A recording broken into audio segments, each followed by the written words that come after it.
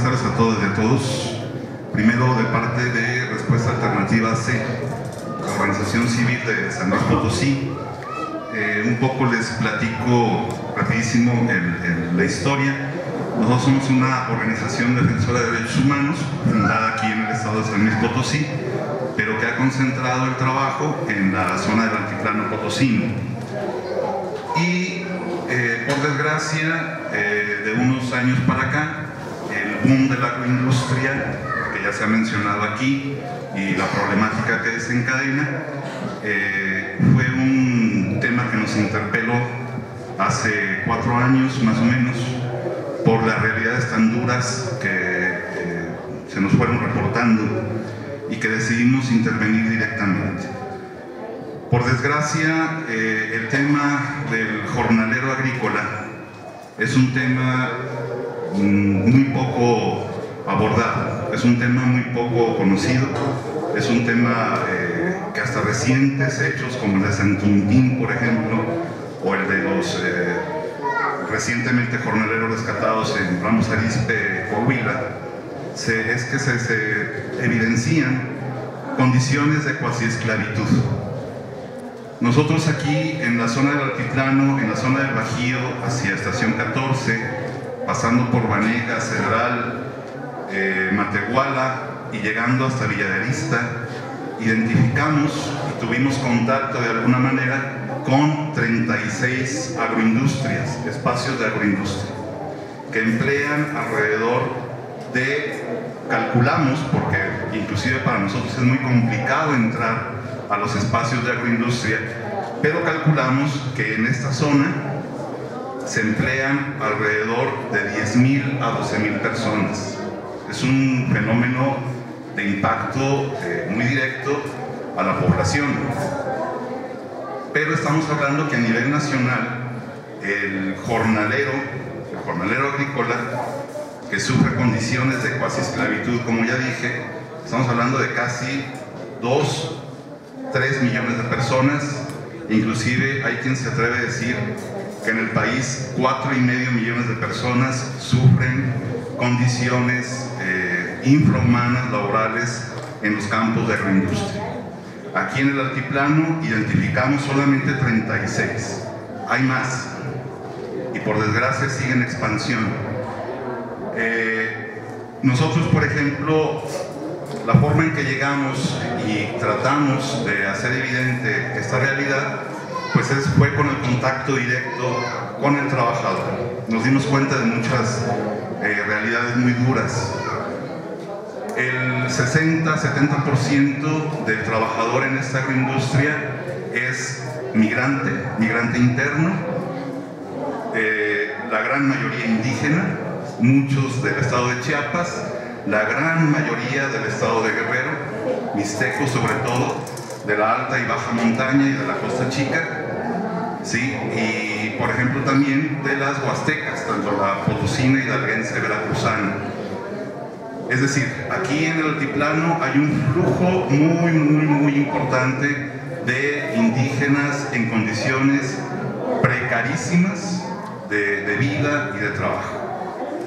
Eh, calculamos más o menos, calculamos más o menos que cada año, que son los trabajadores estacionales que se les llama, cada año llegan a esta zona del altiplano potosino, invisibilizados totalmente, alrededor de unos 6.000 a 7.000 trabajadores indígenas, repartidos desde Villa de Arista hasta la zona de Vanegas. Curiosamente, en la zona de eh, Estación 14 no hay, no hay trabajador jornalero migrante, hay jornalero local.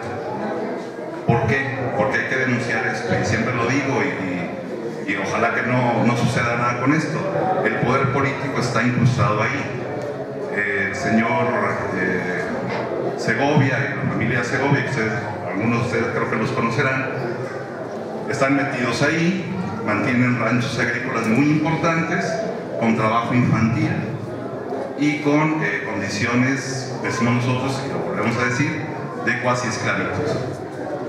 Jornales de 7 de la mañana a 7 de la noche, eh, salarios de 90 a 110 pesos diarios, por supuesto sin ninguna prestación social, por supuesto sin ninguna eh, prestación de salud y que inclusive hemos documentado personas que han enfermado, que han estado a punto de perder la vida, porque si ustedes han ingresado a una nave de invernadero de esa agroindustria, las temperaturas dentro del invernadero superan los 50 grados centígrados y por supuesto no se les proporciona la hidratación necesaria o la atención necesaria o el descanso necesario para poder entrar y salir al invernadero. Inclusive hemos detectado casos donde el dueño de los ranchos o el capataz o el encargado fumiga las, las plantas con trabajadores adentro.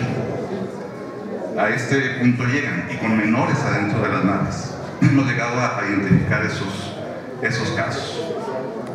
Eh, las violaciones son variopintas, son van desde el trabajo infantil, el trabajo cuasi esclavo, no se les permite comunicación a los trabajadores con el exterior, ¿sí? Hubo casos en que hemos tenido que ir por el trabajador, rescatarlo con su familia y colocar denuncias. Colocar denuncias. Por supuesto que el Estado, después de cuatro años, no ha hecho absolutamente nada en relación a mejorar o a implementar condiciones que permitan a los trabajadores tener mejores eh, eh, situaciones laborales. Esto no lo ha visto cuatro años hemos estado insistido, hemos insistido con el gobierno federal, hemos insistido con el gobierno estatal, con los municipales y absolutamente creo y me atrevo a decir que cambios sustanciales no ha habido. El año pasado, a estas fechas, más o menos hasta por estas fechas, hubo un accidente carretero en la carretera 57 a la altura del kilómetro 128 eh, un accidente donde venían 34 personas del estado de Guerrero. Esta camioneta se vuelca, eh, hay dos muertos ahí, dos menores muertos en, ese momento y un adulto que muere posteriormente en el hospital.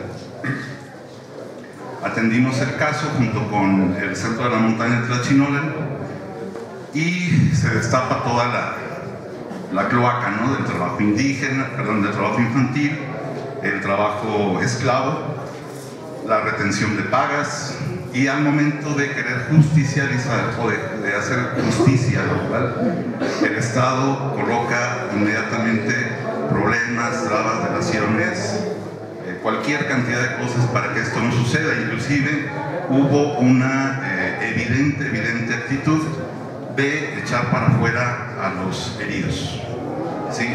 lo más rápido posible. No fue posible, nosotros nos pusimos inmediatamente a colocarlo en la opinión pública y esto les dolió tanto, tanto, tanto, tanto, tanto que comenzaron a disque hacer inspecciones, comenzaron a disque hacer mejoras, comenzaron a hacer evaluaciones y certificaciones de productos libres de trabajo infantil. Sin embargo, esto no es verdad. Seguimos teniendo y hemos tenido visitas constantes a los ranchos y seguimos viendo menores, seguimos viendo eh, mujeres embarazadas, seguimos viendo mujeres trabajando en el surco con el niño o en la espalda o adentro de una cubeta tomatera donde lo van eh, arrastrando. Seguimos teniendo casos de personas intoxicadas sin ningún tipo de atención médica y seguimos viendo sueldos raquíticos de 110 pesos.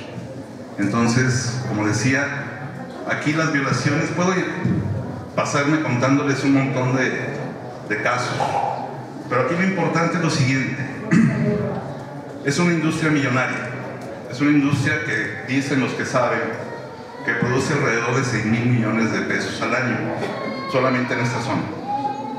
Es una industria que el 90% de su producción se exporta a Estados Unidos. Es una industria que se dice orgánica, sin embargo no le proporciona al trabajador ni siquiera una letrina donde hacer sus necesidades. Ya se imaginan lo orgánico que puede ser eso. ¿Sí? Por tanto, es una simulación, es todo simulación. Y lo que nos hemos también dado, por desgracia, cuenta, es que el Estado de, por sí mismo no tiene ninguna voluntad de arreglar o de proporcionar condiciones. Nosotros hemos tenido un año insistiendo en que se coloquen mesas de diálogo interinstitucionales con sociedad civil inclusive, inclusive con representación de los trabajadores, y esto no ha sucedido, no ha sucedido, no han querido. Eh, hemos insistido en que vengan a la zona, que las mesas se instalen en la zona, no han querido hacerlo. ¿Por qué?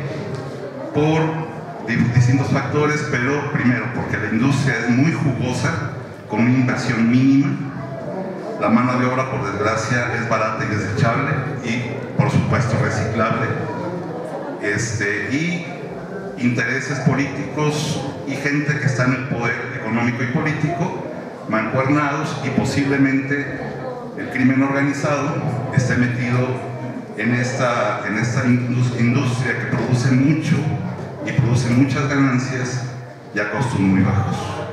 Esa es la tragedia de, de mucha de la gente que trabaja y que viene a trabajar por esta zona. Muchas gracias.